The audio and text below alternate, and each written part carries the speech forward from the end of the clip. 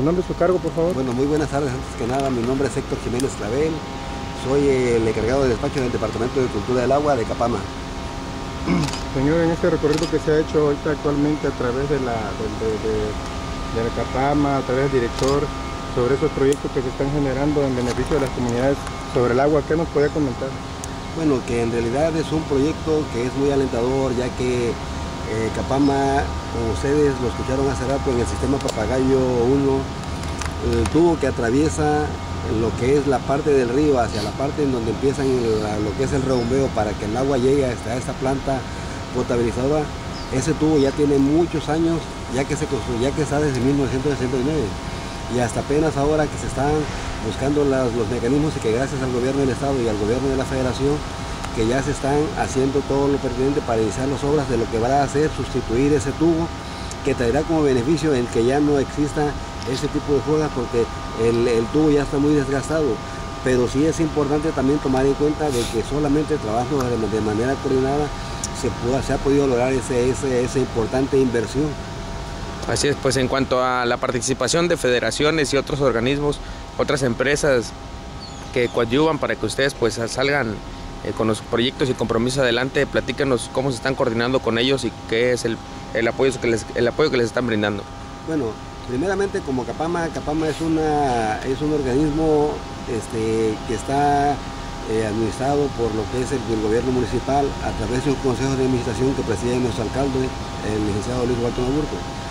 Eh, el director general, que es el que nos está llevando para dar el recorrido, el ingeniero este, Francisco Velasco Islas, es una persona que conoce mucho, que conoce mucho de lo que es esa estructura, tiene una vasta experiencia y él se ha abocado a ver las necesidades que tiene ese organismo operador, pero no nada más es eso, sino que también ha buscado el mecanismo de que Capacec, que es la Comisión de Agua de, a través de este, en el estado de Guerrero, pero también a través de lo que es la Conagua, que es a nivel federal, coadyuve para poder hacer que el recurso pueda llegar porque la inversión es un, eso es un, es un tanto fuerte.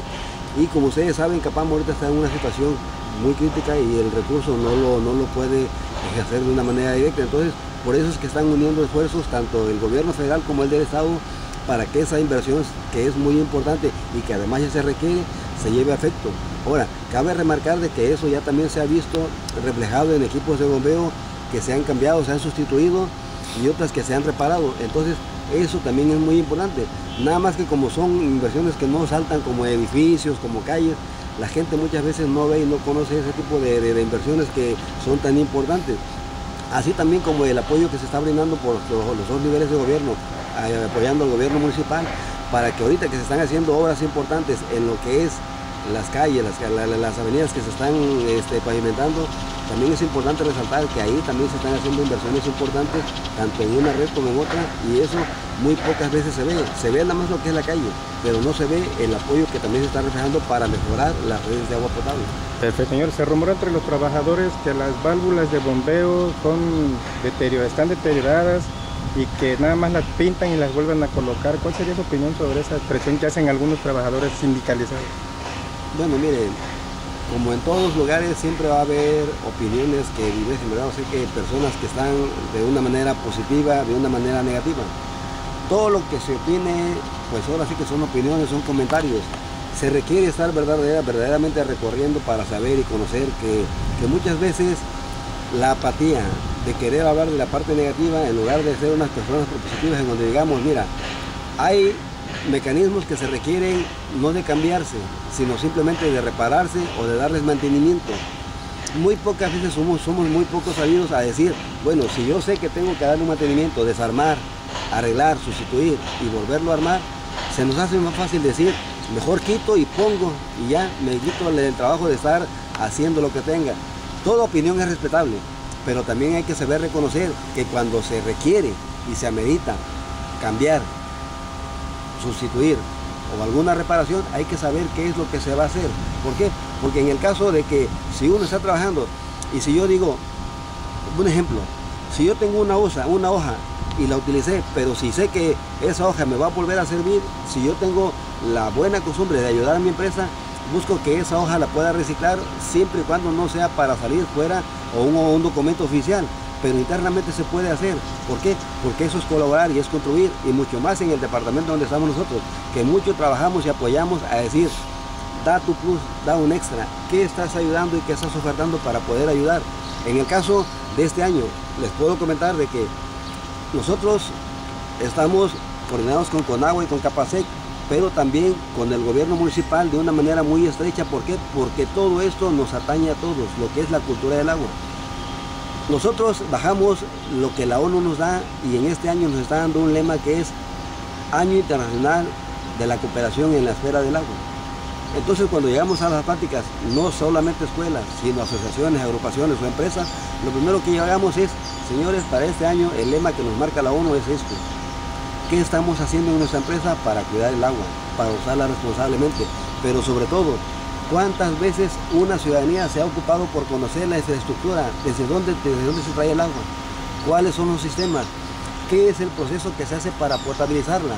Después de aquí que se termina el proceso de potabilización, ¿cómo se distribuye? ¿Cuántas veces se tiene que rebombear? Pero ahí no termina todo. Llega a mi casa y en mi casa, ¿qué hago? Con esa agua la utilizo, la utilizo de manera responsable. ¿Hacia dónde se va? Hacia una alcantarilla. Aquí en Capama también hay 14 plantas tratadoras de aguas residuales, las que se encargan de limpiar de esas impurezas que ya fue contaminada ¿Para qué? Para que el agua sea regresada, pero ya sin contaminantes, libre de esas impurezas. Y eso es algo que conocemos. Nosotros en Cultura del Agua, cuando les hablamos, les hablamos, hay que, hay que conocer el ciclo urbano del agua. Señor, por último, ¿qué mensaje le daré a la población, ya que a veces no les llega el agua a sus comunidades? Bueno, yo les, como primera recomendación les diría de que recordemos que Acapulco ha ido creciendo.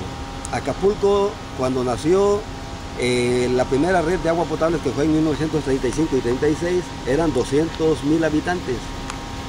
Ha ido creciendo a grado tal que ahorita rebasamos el millón de personas y la red con la que estamos ahorita trabajando fue construida en 1969 hablando del pozo del sistema Papagayo 1 y sistema Papagayo 2 esa red abastece ahorita a 1.200.000. Eso no quiere decir que sean las únicas, ¿eh? porque se ha estado trabajando sobre otras redes como es el Pedregoso, como es la de la de El Quemado, San el Pedregoso y también la de la que se está ahorita apenas construyendo, que es el nombre de Chapultepec. Pero sí recordarles que esta ahorita que nos está abasteciendo, nos abastece a estos habitantes. Si tuviéramos el buen uso, si tuviéramos el, el amor, el respeto hacia ese vital líquido, si nosotros nos llega de una manera tanteada porque tenemos que quitarle o tenemos que suspenderla para que le llegue a otros lugares, seamos un poquito responsables y aprendamos a cuidarla, a almacenarla, a darle un uso responsable. Pero también es importante estar atento a los boletines informativos porque muchas veces se nos avisa de que va a haber suspensión por una fuga, otra reparación y muchas veces culpamos, dicen, no, pero es que a mí no me avisaron porque no tenemos la buena costumbre de estar atentos a esos boletines. Y también algo que es muy importante, la parte más difícil. Hay que, hay, que, hay que ser unos ciudadanos responsables porque lo que se paga es el servicio, no el agua, sino el servicio que cuesta captarla, conducirla, potabilizarla, distribuirla, pero también hacerla potable y una vez que termine eso, también tratar esas aguas residuales. Es ahí donde se convierte en un servicio de agua, alcantarillado y saneamiento es algo que también tenemos que, dar a conocer. Muy bien, señor. Nuevamente su nombre y cargo, por favor. Mi nombre es Héctor Jiménez Clavel, soy el encargado de despacho del Departamento de Cultura del Agua de Capán. Gracias. gracias.